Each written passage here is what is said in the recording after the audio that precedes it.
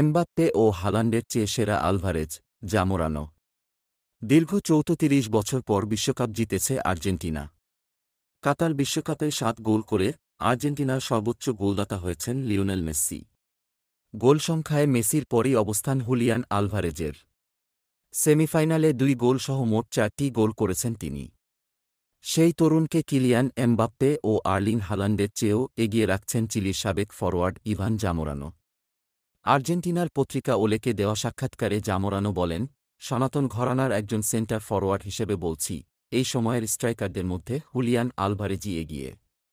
সব জায়গাতেই ভালো খেলতে পারে সে। উইংয়ে খুবই ভালো খেলছে। নিজেদের অর্ধেও ভালো, বলা যায় প্রথম ডিফেন্ডার।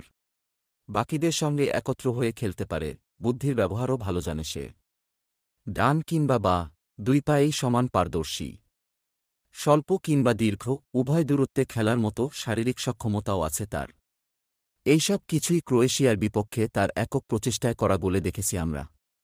ফরাসি তারকা এমবাপ্পে ও নরওয়ের তারকা হালান্ডের প্রসঙ্গে জামরানো বলেন, হালান্ড উইংয়ে ভালো খেলে না।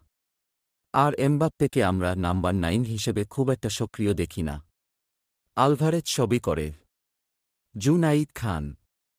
ইগলুল বাংলা, কা আতার।